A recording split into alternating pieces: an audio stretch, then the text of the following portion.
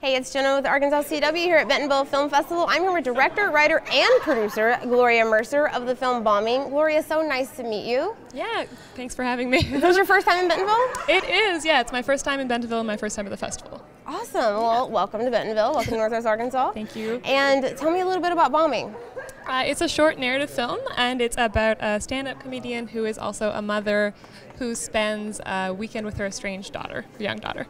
Oh wow! And yeah. how did that kind of pan out? Um, it's it, it goes okay. It's sort of a dramedy, so it um, it focuses on this woman who's um, you know not a great mom, but it, it, focuses on the moments between her and her daughter. What was the inspiration for making a film like this for you? Um, I was inspired by uh, what roles are available for women, what mm-hmm. characters are written for women. I really wanted to write a character who wasn't perfect and try to sympathize with her. So I thought um, someone who is a mom but maybe wasn't a perfect mom and someone who is a comedian um, is also an interesting avenue to explore. So, yeah, it's interesting layered characters for women. Yeah, and so what's it been like so far for you in the festival this week? It's been amazing. They've been so great to us, and it's it's been really wonderful. Um, we got here uh, for the beginning of it, and we're staying till the end, and it's just been really positive. Awesome, awesome.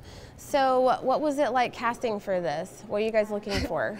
um, I was looking for. Well, it was a little tricky because I have comedy in my film, like stand-up mm-hmm. comedy, and a lot of the people I cast had never done that before. Um, and that's it's just a really hard thing to do and a really hard thing to look like you're doing naturally and i cast mm-hmm. someone who is from uh, an improv and stand-up background and she was amazing so that was really important for me was finding right. someone so comfortable did you find it tricky balancing between a, the drama and the comedy um i like to think that any good drama has moments of mm. lightheartedness and moments of comedy i mean i'm sure there's perfect exceptions but uh, so I, I think that maybe it's a tricky balance, but it's also important to take those breaks so you don't get too deep into the melodrama. Right, right. Yeah. I agree with that. So, well, thank you so much for being here, and I'm very excited that the film got in for you, and congratulations. And we're happy to have you here and hope to see you again next year. Thank you so Enjoy much for your time in Northwest Arkansas. thank you, thank I will. Thanks.